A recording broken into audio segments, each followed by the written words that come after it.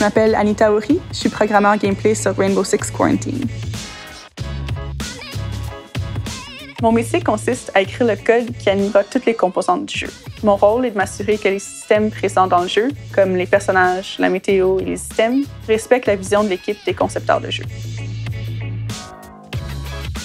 Je travaille avec plein de personnes vraiment talentueuses, vraiment passionnées, puis c'est vraiment motivant. Puis euh, on va pas se le cacher, travailler dans les jeux vidéo, c'est quand même, euh, quand même assez amusant.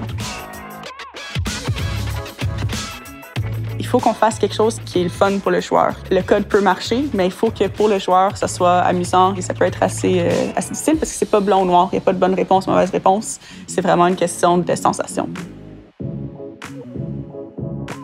C'est sûr qu'il y, a les qualités techniques. Il faut être bon programmeur à la base.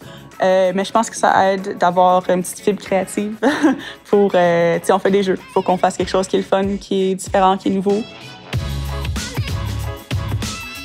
J'étais pas partie pour être programmeur gameplay. J'ai fait un cours de programmation au cégep par curiosité, puis j'ai tellement, tellement, tellement aimé ça. C'était le premier cours qui m'avait vraiment intéressé à ce point-là. Je savais que j'aimais les maths, je savais que j'aimais la physique, donc c'est pour ça que j'ai décidé de faire un bac en génie informatique. Faut vraiment essayer la programmation. C'est pas quelque chose que je connaissais je suis tombée en amour euh, par accident. on n'a pas besoin d'attendre de travailler chez Ubisoft pour en faire. On peut participer à des game jams, faire, euh, faire des jeux vidéo seul avec des amis. Euh, il y a plein de tutoriels en ligne. C'est vraiment stimulant.